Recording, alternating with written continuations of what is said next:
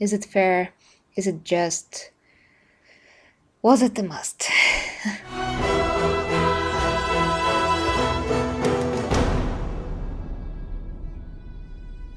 and hi guys and welcome to my Xena channel and I am Xena JK or Geri G Reviews. So the topic at hand is was Xena's ending what you expected and do you like it even?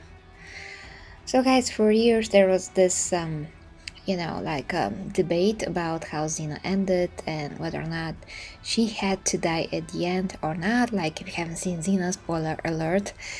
So basically what happened you have to know this but I'm just gonna say it real quick. Gabrielle took her mantle her chakram, her role, and Xena died because of something that she did long ago. Kind of forgot about it, and well, for me, at least how I saw it then, is that the creators decided to put her in this situation where something from her past that she really did forget about it. It's kind of how it felt and how I remember it. And now all, all of a sudden it appears, and she's like, No, this is my duty. I have to go and fix that because, well, I just have to fix it. Well, she's Xena. So she went and she saw that because of this accidental fire that she caused, so many souls died. I mean, so many people died, and then unexpectedly, some other evil spirit trapped them all, and now he's using them for his purposes, hoping eventually for him to come back to the land of the living, so to speak, for him to have a physical body, all those things. So please correct me if I'm wrong. I haven't seen that episode in years because I did cry a lot on it.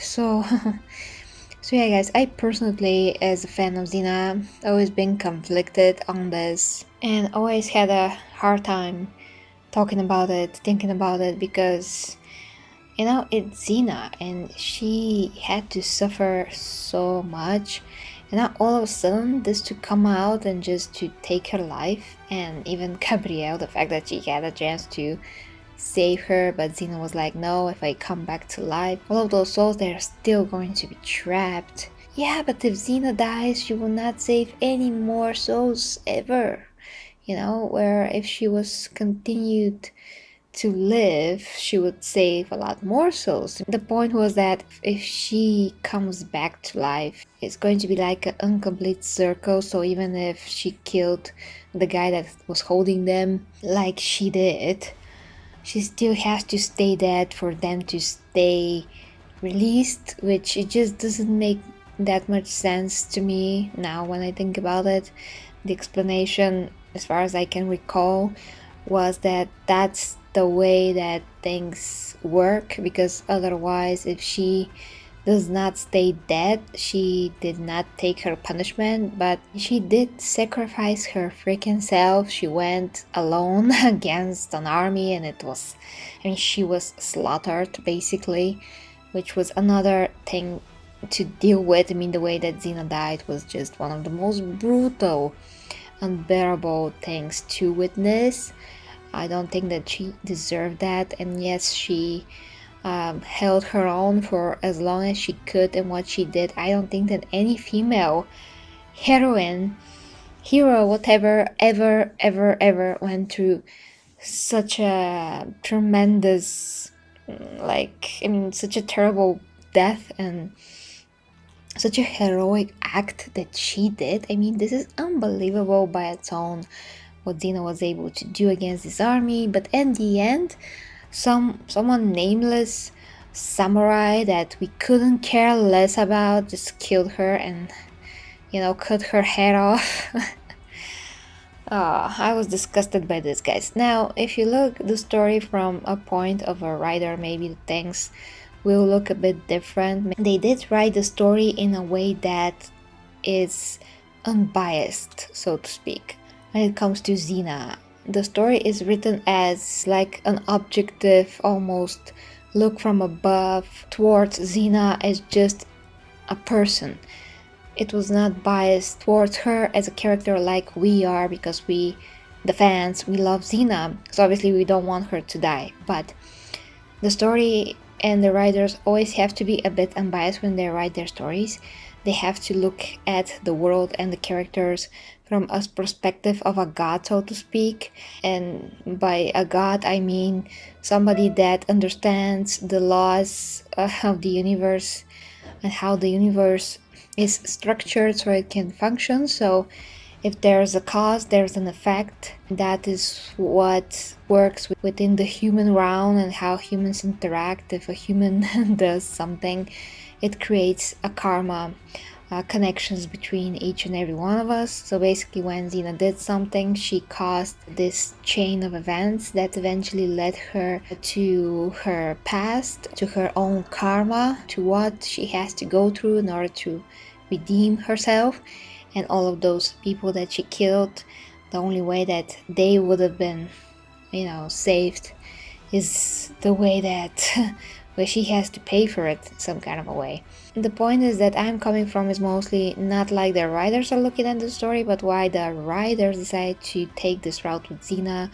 Why can't they just decide to leave her to leave her alone so to speak or to let her live with gabrielle the way that they did with Hercules and Iolaus, they just let them both just go on on their journeys to what end? Nobody knows but the point is that they like gave them a chance and let the viewers write their story. So my question towards you guys and even towards myself is what do we prefer? What do you prefer? Would you prefer for Xena to be like left alive in the same way that Hercules was? For her and Gabrielle to just continue their ways and we were be, you know, living the story to our own to our own fantasies where the journey can take them. And we could just assume that maybe someday they will, they will die from a battle or they will not die. Something else could happen and they can maybe settle down at one point. Who knows? But no, you know, the writers, uh, Rob Tapert or whoever it is, they just decided to kill Xena off and send Gabrielle all on her own to her journey and Xena just being there as a spirit. I don't know. I don't know how I feel about this. Sometimes there's some stories that you can just, yeah, you know, forget about your emotions look at it completely with wisdom and objectivity and just reason and be like, yeah, I mean, if I didn't care so much about this character, this totally makes sense for this for the character. This time, for so many years since I was a child, I still I'm still not sure about this. I still feel conflicted with with the with the fact uh, yeah, the end touched me. I cried. I will never forget it. They achieved that effect in a lot of us, but was that right towards Xena? I just don't know. Just not sure yet. So, as Xena fans, guys, let me know what you think in the comments. Let's discuss this. I don't think that anyone really talked about this for years, and if there's any chance for the show to continue how can even continue? That's maybe a video for another day but let me know about the ending and what do you think about it. Is it fair? Is it just was it a must?